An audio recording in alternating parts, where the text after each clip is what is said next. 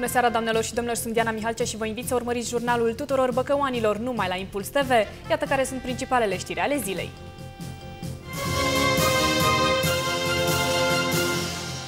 Un grav accident de circulație s-a produs pe drumul național 2.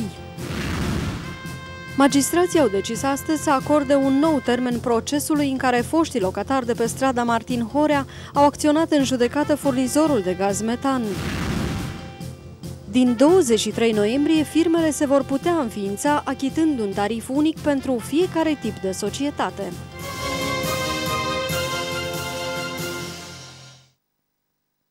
O femeie de 52 de ani și-a pierdut viața într-un grav accident de circulație pe drumul național 2 între Răcăciuni și Sascut. Aflată la volanul unui autoturism, aceasta a pierdut controlul, a intrat pe contrasens și s-a izbit frontal într-o autoutilitară ce venea regulamentar din sens opus.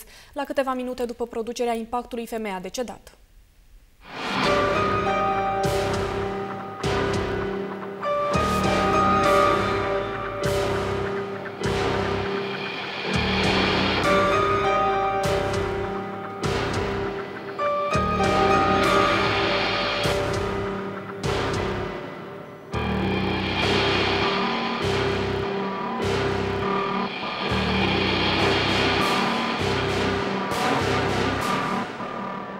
Luni seara, pe drumul național 2, s-a produs un grav accident de circulație. O femeie care conducea un autoturism înmatriculat în București, pe drumul național 2, în afara localității Răcăciuni, pe fondul oboselii, a pierdut controlul asupra direcției de mers, a pătruns pe contrasens și a intrat în coliziune cu o auto-utilitară condusă regulamentar. Trenul spre Bacău către București, am văzut Skoda la vreo 30 de metri, după prima bandă, că începe să o ia pe contrasens. A dormit sau a avut o problemă Vezi că mecanică? A dormit că, ce să mai zic, m-am m-am trezit glonț, am încercat, dar n-am mai avut timp. Zic să iau pe contrasens pe partea asta, la să fug încolo. Nimic, glonț în mine, cred că piciorul i s-a blocat pe, pe accelerație, dar a venit direct, direct, direct, direct în mine. Tot a fost s-a întâmplat foarte repede, a fost foarte scurt și din ce am reușit să, să văd, m, doamna practic s-a dus exact, treptat, așa s-a dus exact în, în, în conducătorul uh, auto-utilitarii, Uh, care practic, m, nu știu, și eu sunt șofer, nu cred că avea vreo șansă să, să, să evite, să, nu știu. Au ajuns la fața locului pompierii care au ajutat la scoaterea femeii dintre fiarele contorsionate, dar și cadrele medicale de la serviciul de ambulanță. Operațiunea de descarcerare s-a desfășurat cu greutate, iar la final, medicul n-a mai putut decât să constate decesul. Linia izoelectrică ne arată activitate cardiacă 0, e decedată. Au apărut deja activitățile cadaverice, are mitriază fixă, putem să considerăm că e decedată de acum în sfert de oră 20 de ore. Din primele cercetări am stabilit faptul că accidentul s-a produs pe fondul oboselii în conducere. În urma accidentului a rezultat vătămarea unei persoane. În continuare vom efectua cercetări uh, pentru a stabili cauza producerii accidentului. În cauză a fost întocmit dosar penal pentru săvârșirea infracțiunilor de ucidere din culpă și vătămare corporală din culpă. Magistrații au decis în această dimineață acordarea unui nou termen de judecată pentru data de 12 decembrie în cazul sinistraților de pe strada Martir Horia împotriva furnizorului de gaz metan. Oamenii se declară nemulțumiți de felul în care sunt amânați de fiecare dată când se prezintă în fața instanței și cer judecătorilor să facă dreptate. Locatarii rămași pe drumuri în urma deflagrației din decembrie 2010 de pe strada Martir Horea din Bacău s-au prezentat marți de dimineață la tribunal. Sinistrații au venit însoțiți de reprezentantul lor legal pentru cel de-al treilea termen al dosarului în care au fost trimiși în judecată șapte angajați și firma distribuitoare de gaz. Deși de doi ani de zile locuiesc cu chirie și de fiecare dată când sunt chemați în sala de ședință, oamenii speră ca magistrații să găsească o rezolvare la problemele lor, marți oamenii au aflat că s-a decis amânarea procesului până pe 12 decembrie, din cauza unor vicii de procedură. A fost un termen foarte scurt, uh, au existat uh, două proceduri uh, necomplete, s-a dat termen pentru data de 12 decembrie, ora 10, într-o zi de miercuri de această dată, deoarece se va face complet special, pentru ca judecătorul care se ocupă de caz să poată să-i acorde atenția cuvenită acestui dosar deosebit de voluminos. Uh, Ce părere au clienții dumneavoastră despre acest lucru? Și noi am dorit să se soluționeze cât mai rapid, dar de această dată nu e vina nimănui, nu e nici vina EON-ului. Noi oricum suntem foarte mulțumiți de faptul că procesul se va judeca în continuare la Bacău și s-a respins cererea de strămutare de la Înalta Curte de Casație. În plus, sinistrații se plâng că apartamentele distruse în urma exploziei au căzut pradă oamenilor străzii care le-au furat și puținele obiecte personale rămase în locuințe. Apartamentele au fost sparte, că nu s-a asigurat, asigurat, nu s-a asigurat uh, securitatea, s-au retras pasnicii care au fost din partea primăriei și haos a fost acolo. S-au luat și căzi în apartamente, s-au spart și ziduri de către oamenii străzii. Din ce am văzut în ședință s-a cerut o amânare pentru că n-au fost citate corect două părți vătămate. Normal, așteptăm să fie citați toți cei implicați în dosar și probabil că pe 12 decembrie se va intra în uh, linie dreaptă, ca să zic așa, în judecarea dosarului. Atunci vom vedea ce poziție au domnii inculpați și... Dumneavoastră ce v-ați dori practic? Eu mi-aș dori să-mi recuperez apartamentul și bunurile care le-am avut. Furnizorul de gaz și cei șapte angajați au fost trimiși în judecată pentru vătămare corporală din culpă și distrugere din culpă. Mai exact, lucrătorii sunt acuzați că nu au efectuat la timp reviziile tehnice în perioada 2007-2010 la conducta de gaz care deservește blocul de pe strada Martir Horea. Au apărut noi reglementări legislative privind obținerea sau suspendarea ajutorului minim garantat. Astfel, orice beneficiar de ajutor social are obligația de a depune din 3 în 3 luni la primăria localității o declarație pe propria răspundere privind componența familiei și veniturile realizate de către membrii acesteia, în timp ce până acum acest lucru se făcea din 6 în 6 luni.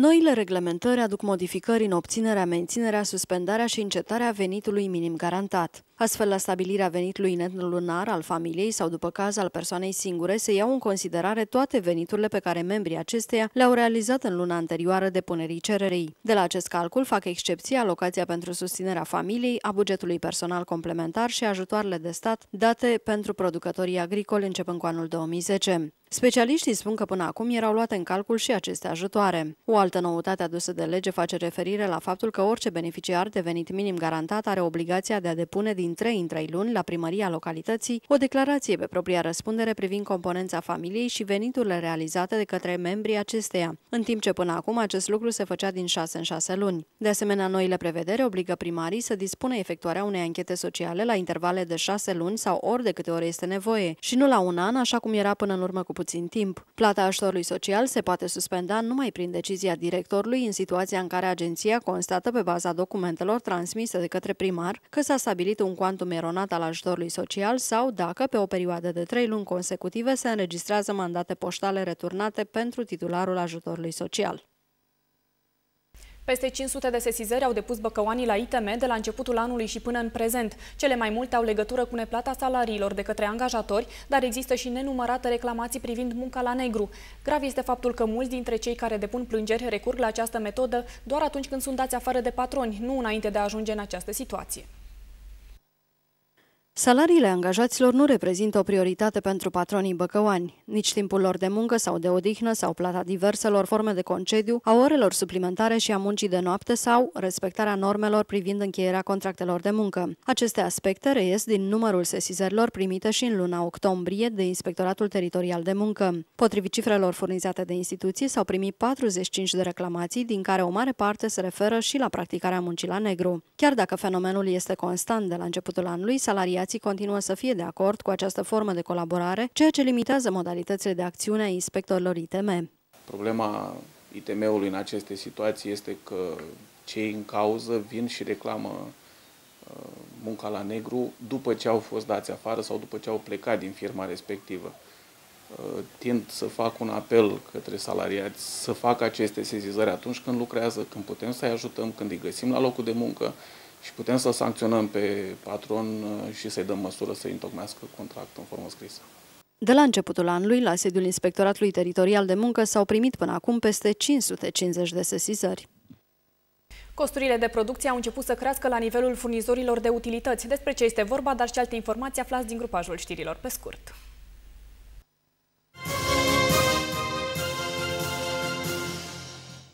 Costurile de producție au început deja să crească la nivelul furnizorilor de utilități. Întreținerea locuinței ocupă al doilea loc ca pondere în cheltuielile lunare ale familiilor, reprezentând peste 30% din coșul de consum.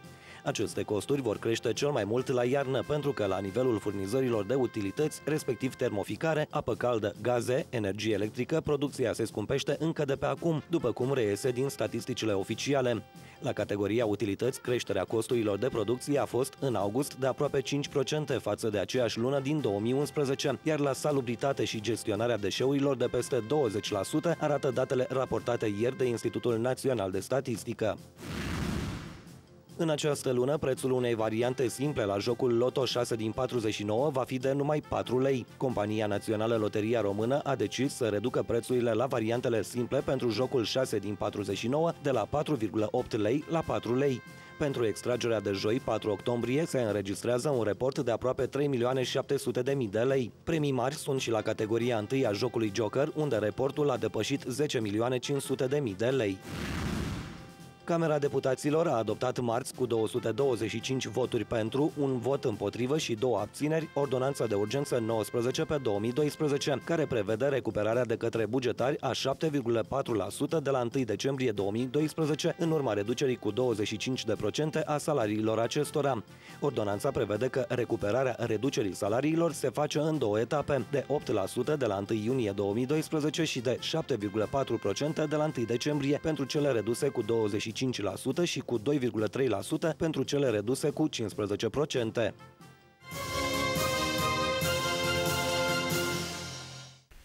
Băcăoanii care doresc să-și înființeze o societate comercială în această lună vor achita un tarif unic la Registrul Comerțului, fără a li se mai percepe alte sume pentru fiecare tip de înregistrare, autorizare de constituire sau înmatriculare ca până acum. Modificarea face parte din noul regulament de taxare care va intra în vigoare de la 23 noiembrie. Băcăoanii care vor dori să-și înființeze o firmă nu vor mai fi nevoiți să meargă de la un ghișeu la altul la Registrul Comerțului. Aceasta pentru că din data de 23 noiembrie, pentru fiecare tip de societate comercială, se va percepe un tarif unic, fără obligativitatea achitării unor alte sume pentru fiecare operațiune, ca autorizare, constituire, înmatriculare, obținerea codului unic de înregistrare sau transmiterea actelor publicate în monitorul oficial, cum se întâmplă în prezent. Din 23 noiembrie, înregistrarea unei persoane juridice în Registrul Comerțului va costa 250 de lei, operațiune ce cuprinde autorizarea constituirii, înmatricularea și autorizarea funcționării prin declarație pe proprie răspundere. Înregistrarea în registru a unei persoane fizice autorizate, întreprinderi individuale ori familiale, ar urma să fie taxată cu 90 de lei, solicitarea cuprinzând atât înmatricularea cât și autorizarea funcționării prin declarație pe propria răspundere. Tot o taxă de 45 de lei se va percepe și pentru cererile de depunere și menționare acte, cererile de radiere sau cererile de eliberare certificat constatator și extras de registru. Este o măsură, apreciez că este o măsură bună, întrucât uh, solicitanții la Registrul Comerțului vor putea să-și uh, calculeze cuantumul taxelor singuri, uh, putând preconiza astfel cheltuielile necesare în ființării sau modificării actelor constitutive. Pe lângă noul sistem de taxare la Registrul Comerțului, din 23 noiembrie se va introduce inclusiv posibilitatea ca plățile să se efectueze și online, prin portalul de servicii al instituției. Colectorii și procesatorii de produse agricole din județ sunt deja în întârziere cu plata impozitului pe venit și a contribuției individuale de asigurări sociale de sănătate pentru cei de la care au cumpărat produsele. Termenul limită de plata acestor contribuții este sfârșitul fiecarei luni, iar cei care se află în această situație vor fi executați silit. La aproape o săptămână de la expirarea termenului de depunere a declarației 112, mai există încă procesatori și unități de colectare a produselor agricole care nu au achitat impozitul pe venit de 2% din acest gen de activități și 5,5% reprezentând contribuția individuală de asigurări sociale de sănătate pentru cei de la care au achiziționat produsele. Cei aflați în această situație urmează să fie somați de către Direcția Județeană a Finanțelor Publice și, într-un final, vor fi executați silit. Potrivit codului fiscal, contribuabilii persoane fizice care obțin venituri din valorificarea produselor din agricultură obținute după recoltare către unități de procesare datorează impozitul de 2% și contribuția de asigurări de sănătate de 5,5%, sume care le vor fi reținute odată cu tranzacția de către acestea din urmă. Au obligația de a depune declarația 112 și în secțiunea C a acestei declarații să fie trecute CNP-urile și veniturile persoanelor care au făcut livrări către aceste unități de procesare.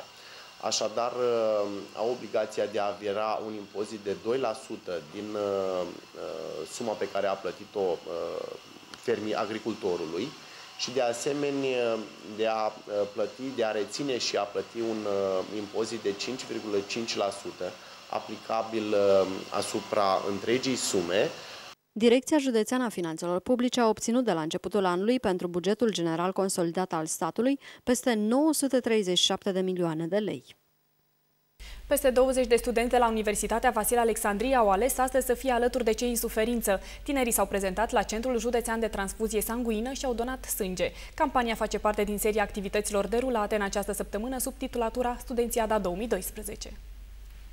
Liga Studenților din cadrul Universității Vasile Alexandrii din Bacău a organizat marți o campanie de donare de sânge. Unii dintre studenți au ajuns în centrul de transfuzie sanguină pentru prima oară. Alții au mai donat sânge și astăzi au revenit cu drag. Păi m-am gândit să, pot, că, să încerc să ajut și niște oameni. La cât de frecvent se întâmplă accidente, ați văzut dumneavoastră, lumea e destul de rea. Care cu... Poate ajut și cineva. Cum de venit să donezi sânge? Am venit să donez sânge prin um, cei de la Liga Studenților și pentru că este bine să donezi sânge și o să faci o faptă bună că te gândești că salvezi o viață sau nu știu. E prima oară când faci acest lucru? Treia oară când vin. Trei ani la rând am început să vin. Și de acum uh, cred că o să vin în fiecare an să donez. Acțiunea face parte din manifestările ocazionate anual în cadrul Festivalului Studențesc și la care participă zeci de tineri. Împreună cu cei de la Crucea Roșie, Liga Studențească și cei de la UNSR, am hotărât să facem o campanie de donare de sânge. Nu este prima, noi mai facem în fiecare an și am reușit să mobilizăm studenții, uh, au venit câți au putut, mai așteptăm să mai vină unii sunt la ore, vin în pauze. Este acum și o problemă că studenții căminiști au dat uh, buletinele pentru vizele de flotant și o să le primească săptămâna viitoare. Dar noi și marța viitoare să facem o campanie de donare și sper să fim mai mulți atunci pentru că le vin buletinele la poliție cu viza de flotant. Numărul celor care s-au prezentat la centrul de transfuzii pentru a dona sânge a fost mult mai mare inițial, însă unii dintre studenți nu s-au încadrat în condițiile medicale obligatorii. Fie au avut tensiune mică sau mare, fie au suferit de-a lungul timpului intervenții chirurgicale mai complicate și nu sunt apți pentru donare.